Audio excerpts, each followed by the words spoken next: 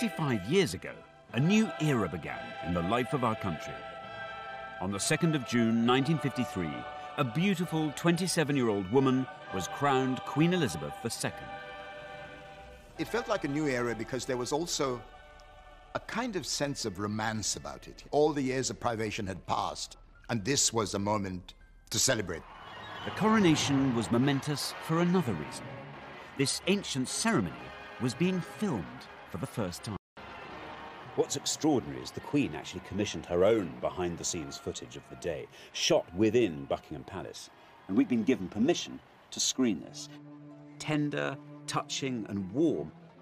But what's so wonderful is on this day when the attention of the world is focused on London, we get this view from the inside.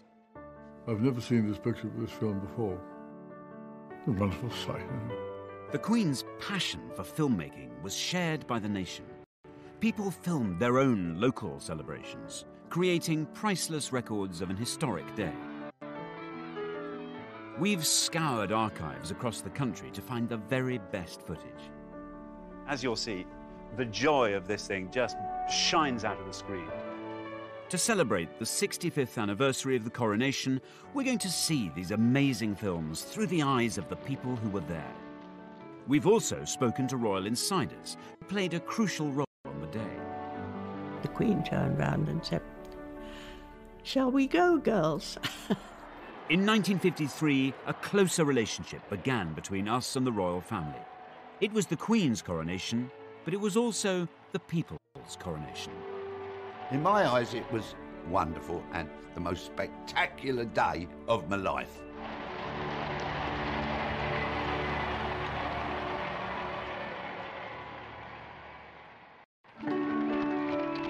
Coronation of Queen Elizabeth II was a day of national celebration, a moment of glorious technicolor after the dark days of the Second World War. The romance of the coronation captured everyone's imagination. Actor Michael Crawford was 11 years old at the time.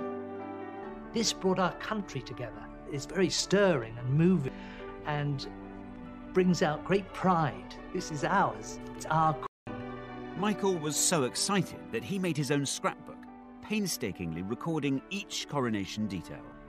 Everything I could find in the newspapers, I cut out. Hmm? Beautifully done. It was obviously a passion. Look, that is pure Hollywood, really. The fairy tale of Hollywood. So this is this is the one that I, is my oh, favourite first country. But this moment of national euphoria followed a moment of profound national sorrow. The heart of the nation stops. The flags lower in tribute as the news spreads. The king dead. King George VI's unexpected death, at the age of only 56, sent shockwaves across Britain and the Commonwealth. The news was greeted with dismay, as far away as Trinidad in the Caribbean, where broadcaster Trevor McDonald grew up. I remember the day the king died, and um, it was announced in, in a fairly kind of solemn but abrupt way. And that was the end of the day. And I don't remember how many days we were off school, but that was a moment of great, great, great sadness. Britain and its Commonwealth were in mourning, but few felt the loss more keenly than Princess Elizabeth. She'd always been devoted to her father. The king is laid to rest, and the majesty of death ends with a family beginning its life anew. A young queen takes over the burden of monarchy. At the age of only 25, Elizabeth had to cope with new responsibilities. God save the Queen. Here was this young English princess who was taking on what everybody thought was the enormous task of being Queen of England and also of the Commonwealth. And that struck a deep, deep chord with people. Everyone wanted a sunny day for the coronation, and after consulting meteorologists, it was decided that June the 2nd, 1953, was the best bet. As soon as the date was announced, coronation fever began to grip the country. Actress Alison Steadman was six years old at the time. I grew up in Anfield, in Liverpool. It was a small house, but we had three bedrooms, um, little garden at the back where my dad grew vegetables and rhubarb. There was still rationing when I was a child. There was a lot of bomb sites.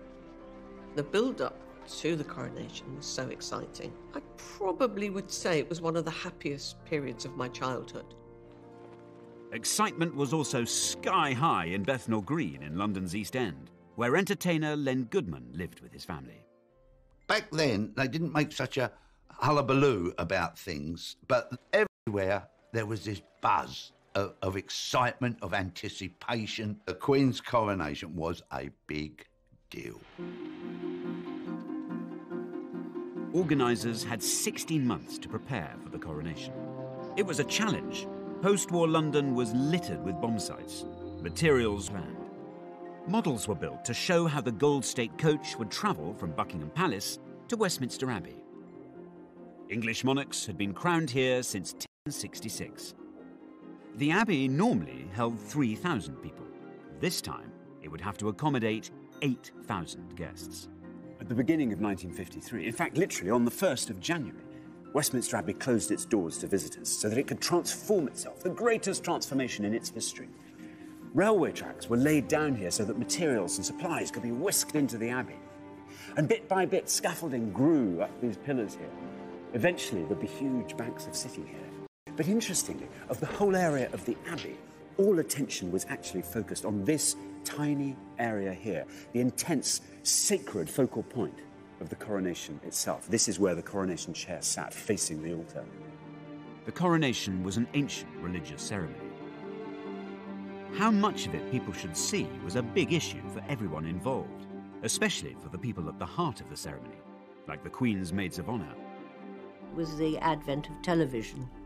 There was a lot of argument about whether the coronation should be shown on the television or not. And there were two camps. In one camp were establishment bigwigs, including the Archbishop of Canterbury the Prime Minister, Winston Churchill.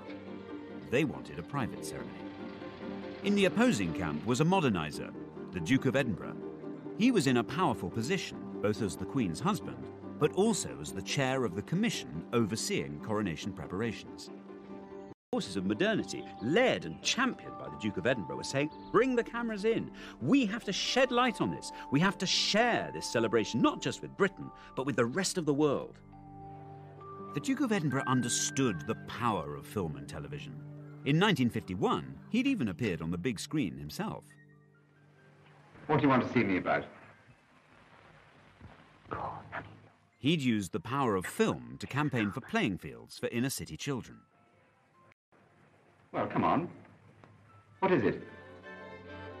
For months, the arguments raged, but eventually, the Duke won the day. The coronation ceremony would be filmed for the first time.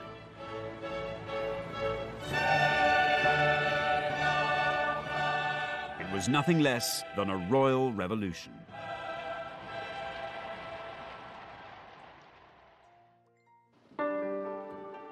The Queen's coronation was one of the most dazzling events ever staged. You know, seeing a crown with those jewels on and those clothes and the golden carriage, it was. It was like fairy stories coming to life. Newspapers called it the new Elizabethan age. We were looking to the future. We had this, you know, lovely princess who was now becoming a queen. So life was going to be good. This new age would start with a of pageantry. Each detail was painstakingly rehearsed.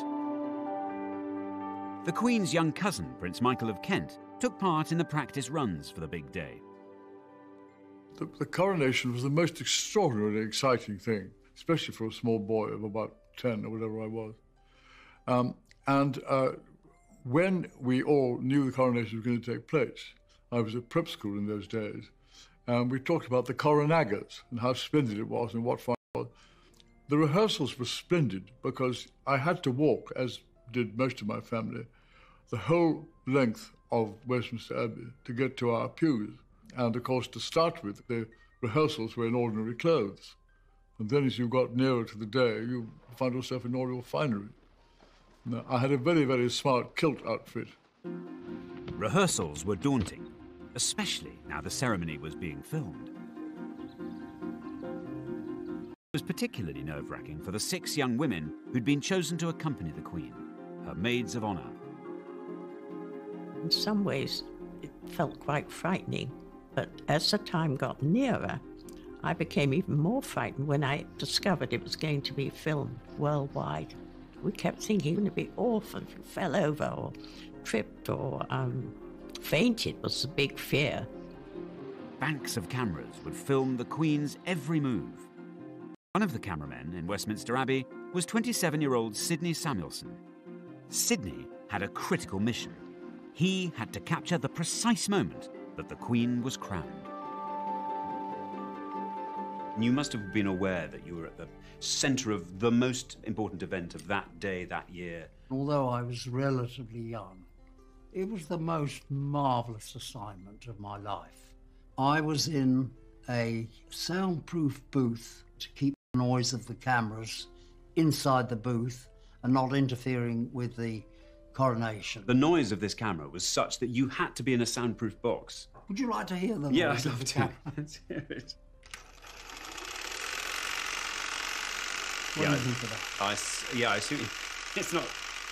It's not ideal, is it? Every cameraman in the Abbey, they'd never done anything like it before in their lives. Mm. Film footage shot inside the Abbey would be shown not just in Britain, but all over the world. People throughout the Commonwealth would see the coronation for the first time. Trinidad was a colony, and it was very, very British. And news of the impending coronation was a time of great, great anticipation. The national anthem was being played everywhere. People in England referred to the Queen of England. Um, we thought she was our queen. If the Queen was important to the Commonwealth, then the Commonwealth was equally important to the Queen. She even had its floral emblems sewn into her coronation dress. The public were fascinated by the details of the Queen's coronation wardrobe. On top of her gown, she'd wear a special robe of estate, made of velvet and trimmed with ermine. Embroiderers from the Royal School of Needlework sewed elaborate designs the robe with real golden thread. This is a sample that was done in 1953, and the design is uh, peace and plenty. So we have wheat ears, wheat leaves, olives, olive stem, and olive leaves as well. I suppose when cameras from above could look down on that sort of long great, Yeah, it sort would of the been- royal purple, it must have looked Amazing. Twelve embroiderers worked on the robe in shifts, seven days a week. It took them 3,500 hours to complete. So, Mandy, can I, can I have a go? Do you trust me Yes, to do it? definitely. What I've chosen for you to have a go at is actually, we call it cut work. Yep. First of all, if you pull the gold right the way down to the bottom, there you are. So it sits snugly on the, the velvet. And then take your needle down in position the other side. And down it goes. Once you've been doing it quite a while, the needle will come up exactly where you want.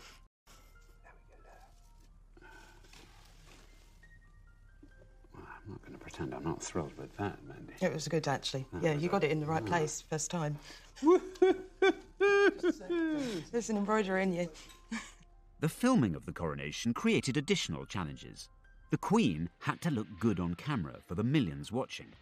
Top makeup designer Thelma Holland was brought in to help.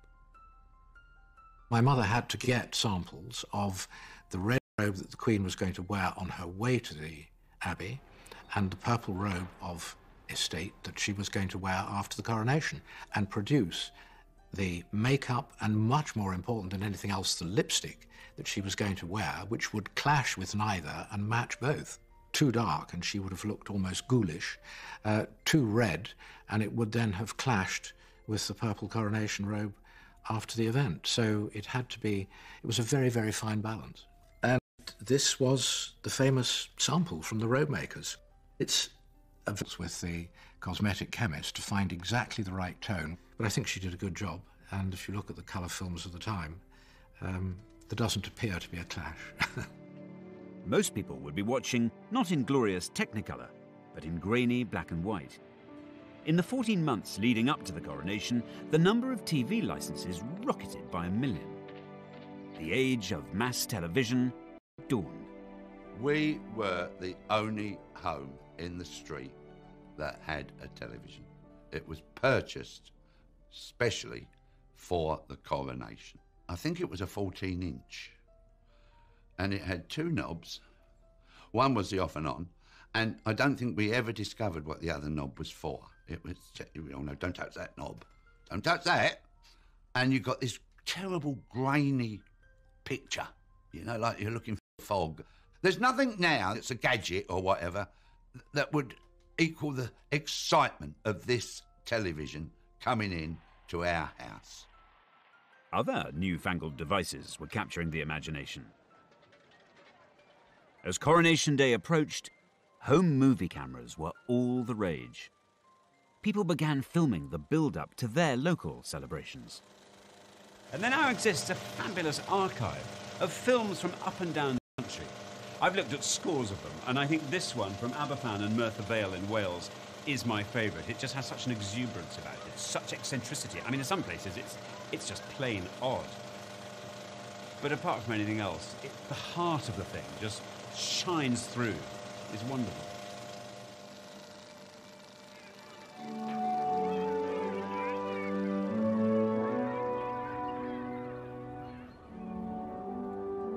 The Welsh village of Aberfan has had more than its fair share of tragedy.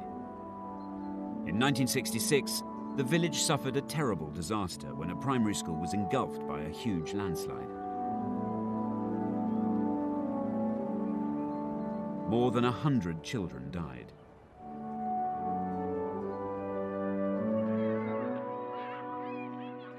But the coronation film is a record of an earlier and happier time.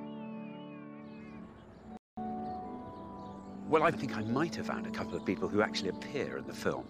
So I've come here to Aberfan to talk to Chris and Eileen, who are going to tell me a bit more about this place. But also, I really want to get the inside track on what exactly happened, what it was like on that wonderful day of celebrations back in 1953. I'll go for this. Hello. Are you Chris? I am. Hello. How do you do? I'm Alexander. Thank you. Lovely to meet you. How nice to be here. Can we come in? So excited. What was it that you were excited? Was it everybody coming together, or was it? Oh, it was lovely. And everybody decorated their windows, and there was a competition for that. And everybody put flags up. And the comical thing was, we saw some really funny ladies. And in the middle of a couple of the lines, they put their big bloomers up in the middle. Well, in the bunting? Yes. You'd have triangle, triangle, triangle, Oh, yeah. bloomers, triangle. Tri- You'll never. s- and everybody used to be laughing. and it was really funny, you know. We had a lot of fun. And there was the Queen. I was an attendant to the Queen. Our local farmer, Donald, he gave us the, well, he drove the tractor and they decorated it beautiful. And we'd go around Aberfan on it. It was lovely. What's so lovely is you've got this beautiful carriage being driven by the tractor. Tractor. As we were going down through Aberfan, everybody'd be out there'd be hundreds of people and they'd be all clapping and cheering and we'd be all waving. But I think that's that's a lovely way community works actually, because these celebrations were going on up and down the country. So every different community had had a kind of link to what was happening in Westminster Abbey. Yeah, it was lovely. It, you was like felt if you were there anyway, weren't you? Really, you, you felt if It you was were. exciting. If you know, the only thing was missing was her. By June 1953, the build-up was over. The great day had arrived. Can you imagine what must have been going through the mind of this 27-year-old woman on the 1st of June 1953? The coronation now just hours away. Because behind all the pomp and the pageantry was a very simple, very solemn ritual that would be enacted. It would mean that the young woman who walked into the abbey behind me would then emerge as Queen Elizabeth, forsaking normal family life with her two young children, a young husband, and dedicating herself to country and Commonwealth. And as if that weren't enough, doing it in the most visible and public imaginable. Millions waited with bated breath for a day of pageantry, the like of which the world had never seen. Just like Christmas, but more so, really. This is mega. This is everyone. It was like Christmas with knobs on.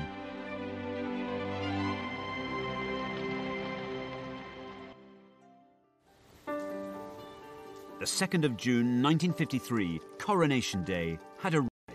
But not for the first time, or the last, the weather forecasters had got it wrong. Well, wouldn't you know it, the 2nd of June 1953 dawned chilly and wet, but that was never going to dampen the spirits of the 30,000 people who'd camped out throughout the night in order to catch a glimpse of the Queen the next day. And then throughout the morning, hundreds of thousands of others flooded into London. Because by mid morning, there were three million and presidents and prime ministers from around the world had all come, all in their robes of office and their. 750 broadcasters were broadcasting in 39 languages to take this event global. For millions of children, the countdown was over. From the moment I woke in the morning, it was exciting. It was like, oh, hurry up, hurry up, hurry up. You know, we want, we want the party, we want the games, you know, we want to watch it on television. One group of children had an extra reason to feel excited. Choristers from St Paul's Cathedral were singing in the coronation service. The boys would be in the Abbey for seven long hours, with no chance even to nip to the loo. We were given sandwiches, and they were peanut butter and marmalade in the same sandwich. So hang on, and these were partly to, to keep your pangs of hunger at bay, and also somehow to, uh, to keep to block prevent you, block, blot you up. Well, mi- mind you, we, we, We had did, a we did have cast iron bladders in those days, I I'm, think. I'm yes. certain you did. Scaffolding pipes came in very handy with our feeding. Because, of course, we had banana skins. Of course, you just feed them down. We just dropped them down the scaffolding. You didn't. Yes, we did. Yes, even you. And he was probably, meant to be head Hay. boy, I'll have you know. The coronation was now only a few hours away. In Buckingham Palace, the Queen was making her final preparations. Royal makeup designer Thelma Holland was with her in the palace. The Queen said to her, It's such an important occasion for me that I would rather th- that the least number of people should be fussing around me before I go off to the Abbey. Uh, do you think I'm capable of doing my own makeup? And my mother said to her, Yes, ma'am, I'm sure you're perfectly capable of doing it. And the Queen then said to her, I would like you to be here just in case. She did her own makeup for the coronation. I think it was such a momentous occasion for, I mean, what after all was a young woman. And I think the idea that she had a moment to her on her own um, would have been extremely important to her. By nine o'clock, coaches were assembling at Buckingham Palace to take the great and the good to Westminster Abbey, including Prime Minister Winston Churchill. These behind the scenes moments are captured in a film which the Queen herself had to mark this historic day.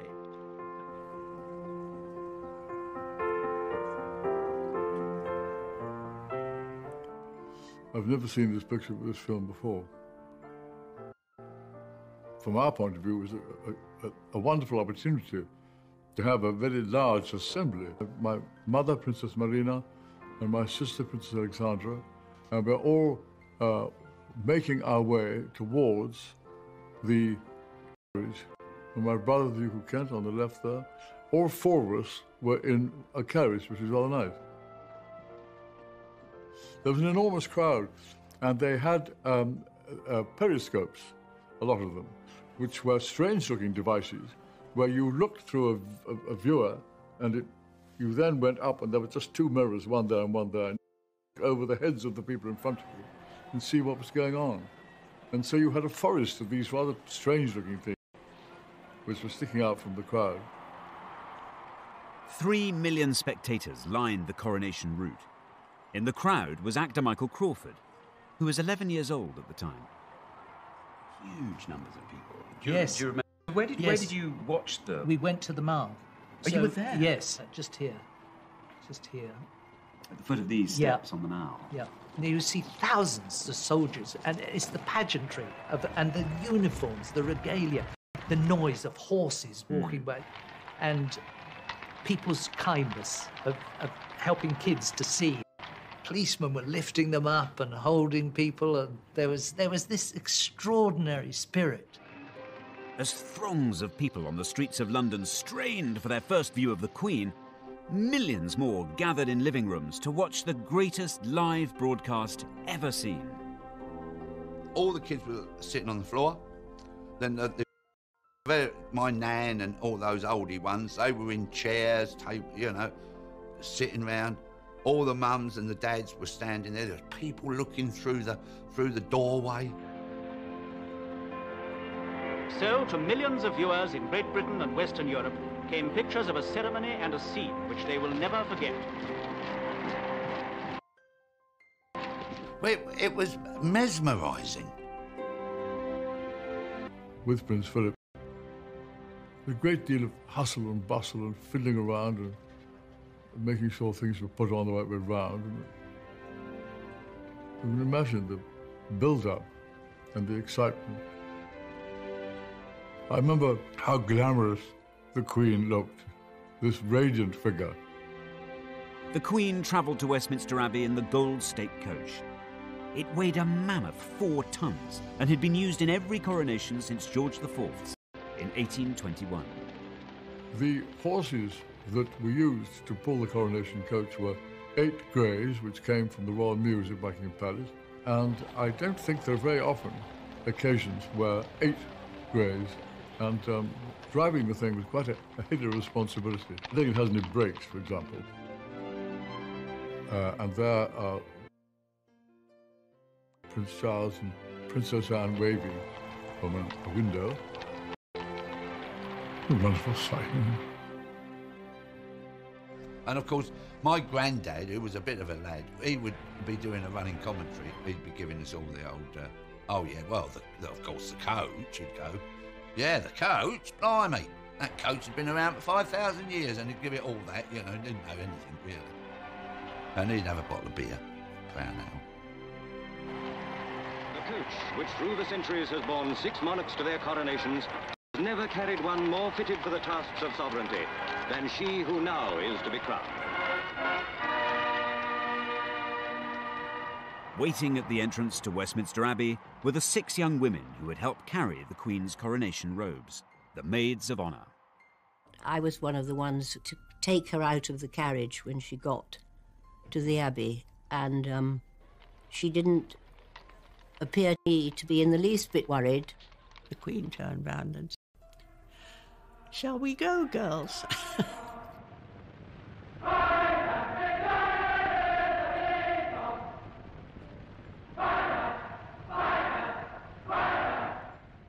It's just dazzling. The colours were so beautiful, mainly scarlet, and of course white for the ermine, and women had uh, all had their best jewellery on, and tiaras, and um, beautiful music. And whenever I hear that music, I feel, you know, pricking in the eyes and catching in the throat.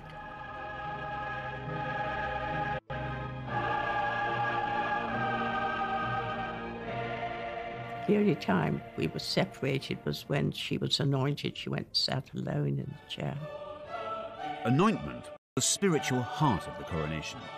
This sacred ritual dated back 3,000 years. The monarch's head, hands, and chest would be crossed with holy oil. The anointing was so sacred that the cameras were not allowed to film it. And here, in the most mysterious of the rites of coronation, the Archbishop anoints her with holy oil and consecrates her to her great office. A gold canopy was held above the Queen, shielding her from view. To me, it was incredibly moving because she was giving up her life. She looked vulnerable and young, and one felt that she was taking on a huge burning took place. Filming the crucial moment when the crown was placed upon the Queen's head was the shot assigned to cameraman Sydney Samuelson. The last and grandest symbol of all is the crown of St. Edward. It was what millions of people worldwide were waiting to see. I knew that that was the key shot. I prepared for it. And I wound up the, both springs to their maximum. When I got to the end of this, it was fully wound, just before I heard the spring broke. Oh, the only time in my whole experience I ever had a spring go It was, was in the Abbey on Coronation Day. Isn't that ridiculous? Down on the floor of the Abbey, trouble was also brewing for the Maids of Honour. One of my friends, Anne Glenconner, she felt very faint. and I felt something moving against my back, and I thought, goodness, what's happening here? Then I realized Anne was slipping down. We wore long gloves and we had smelling salts uh, um, concealed so that you could just pop them if you felt you were going to faint. So she was lifted up by the others and supported. And soon after that, we went into the vestry where the Archbishop produced a bottle of brandy. And Anne had a little swig. he said, This will do you good. Meanwhile, cameraman Sydney Samuelson was trying to save the day. There was no way I could repair a spring, but I had brought a spare camera body and I just managed to get it all fixed and the door closed and I switched on and I got the shot that they wanted. The climax of the ceremony has. Just before we get sat down to the banquet. There's me, little Lenny boy, and the rest are just the street kids of our street. Prime Minister Winston Churchill had lifted sweet rationing in time for the coronation so children could tuck in to a sugary feast. We all had to sit down and then uh, sang God Save the Queen, uh, and then off we went with the food. And course after course. It was honestly, it was, it was, like a tasting menu. oh, salmon, sat up, yeah. Salmon sandwiches, how posh. Gorgeous.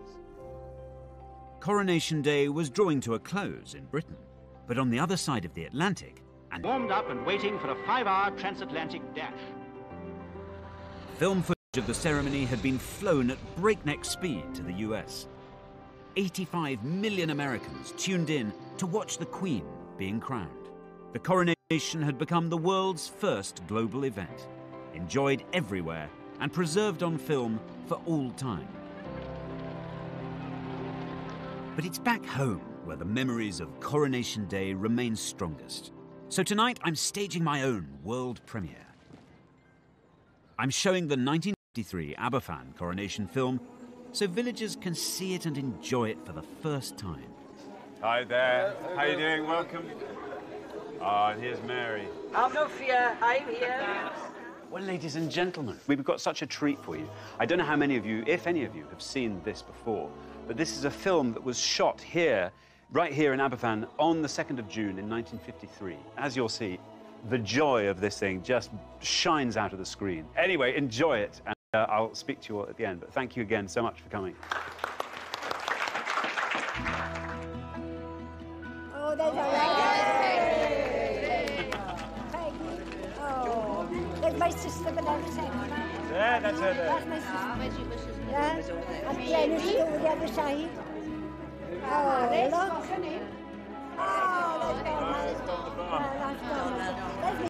May, as far away as Trinidad in the Caribbean, where broadcaster Trevor McDonald grew up. I remember the day the king died, and um, it was announced in a fairly kind of solemn but abrupt way. And that was the end of the day. And I don't remember how many days we were off school, but that was a moment of great, great, great sadness. Britain and its Commonwealth were in mourning, but few felt the loss more keenly than Princess Elizabeth. She'd always been devoted to her father. The king is laid to rest, and the majesty of death ends with a family beginning its life anew. A young queen takes over the burden of monarchy.